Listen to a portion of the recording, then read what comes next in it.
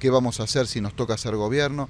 Y la verdad que estamos todo el mundo muy entusiasmado y ya definimos como cuatro grandes áreas de, de básicamente lo que es todo comunidad, que ahí incluimos lo que para nosotros es muy importante, que es el tema de educación, educación municipal, jardines maternales. Digamos lo que sería área de desarrollo humano, como lo vemos hoy. Exactamente, nosotros le pusimos un nombre un poco más amplio todavía, que es el tema de comunidad, que incluye todo, salud, educación, tercera edad, cultura, turismo, deporte, que además nosotros lo vemos como toda una cosa que está integrada, salud, educación, eh, digamos... Eh, eh, cultura. Para nosotros todo tiene que ver con todo porque ahí hay un enorme potencial para trabajar en lo social.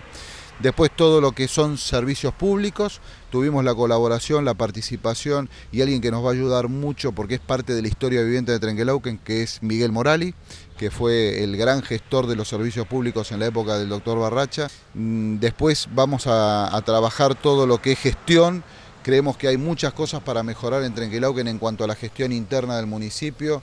Eh, creemos que debe crearse un centro de costos, por ejemplo, trabajar muy fuerte en que cada cosa que hace el municipio eh, sea valorizado y que valga lo justo hay muchas cosas que el municipio tiene que optimizar ahí. La tercera es, es todo lo que tiene que ver con infraestructura, este, ahí todo lo que es obra pública, obras municipales, ampliación urbana, eh, que también hay que establecer prioridades, muchas. Vemos la gestión como una integración.